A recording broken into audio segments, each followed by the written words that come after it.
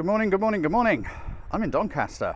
I've just come up here to check the photo uh, walk, which we'll be doing after the Cameras Don't Take Pictures seminar up here in a few weeks' time. Absolutely blown away by it. I've never been to Doncaster before, but yeah, absolutely brilliant. I did my research to make sure we got some cool places to go.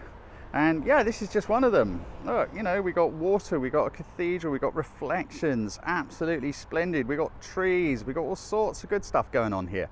And this is just one of the little spots along the walk.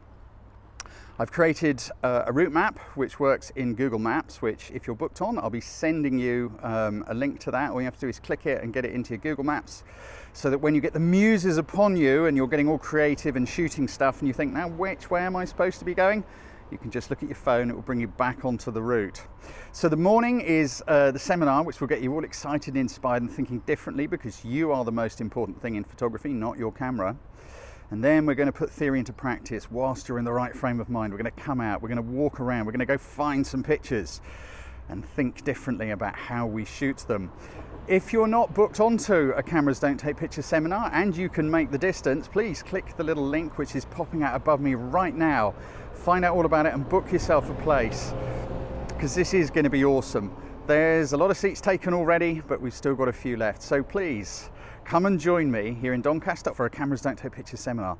I am absolutely pumped about this. We're going to rock it. Take care and I'll see you here.